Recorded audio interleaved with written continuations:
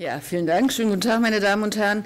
Wir haben ja eine zweitägige Sitzung des Parteivorstandes und wir haben uns, dazu werden aber Herr Höhn und Herr Gallert genaueres sagen, mit dem Wahlergebnis in Sachsen-Anhalt beschäftigt. Wir sind sehr froh und zufrieden mit diesem Wahlergebnis.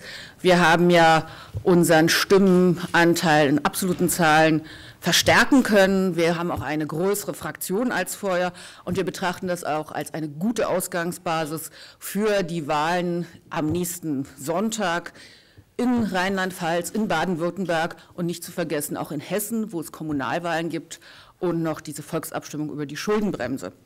Aber trotz der ausführlichen Diskussion über dieses Wahlergebnis haben wir uns natürlich im Vorstand auch mit aktuellen politischen Themen, die über die Bundesrepublik hinausgehen, beschäftigt. Sie wissen ja, dass wir als Linke den Militäreinsatz, den Luftkrieg über Libyen ablehnen. Wir haben uns dazu einerseits ausführlich im Deutschen Bundestag geäußert. Wir haben gestern vor dem Brandenburger Tor eine Mahnwache organisiert und gemeinsam mit Berlinerinnen und Berlinern und Gästen der Stadt unseren Willen zum Ausdruck gebracht, dass wir die Bundesregierung auffordern, alles zu tun, um diesen Konflikt friedlich zu lösen. Der Schritt der Bundesregierung, sich im Sicherheitsrat der Stimme zu enthalten, war richtig, dieser Resolution nicht zuzustimmen. Aber nun muss natürlich der zweite Schritt folgen. Frau Merkel und ihr Außenminister Guido Westerwelle müssen alles tun, damit diese kriegerischen Handlungen sofort beendet werden.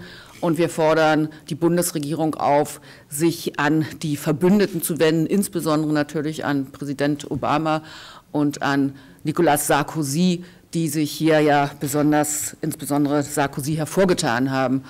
Wir vertreten die Position, dass mit kriegerischen Mitteln keine Konflikte gelöst werden können dass die, der Druck auf Gaddafi auf andere Art und Weise konsequent umgesetzt werden muss. Und darum sollte man nicht nur über Embargos reden. Wir brauchen ein konsequentes Waffenembargo. Wir brauchen ein unbefristetes Verbot von Waffenexporten in den gesamten Nahen Osten.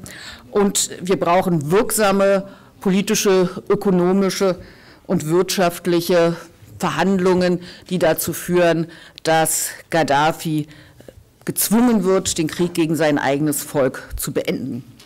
Die Linke will, dass die Bundesregierung alles tut, um einen Ausstieg aus der Spirale der Gewalt zu erreichen. Denn wir haben gesehen in Afghanistan und in anderen Ländern, es ist nicht möglich, mit Krieg Frieden zu schaffen.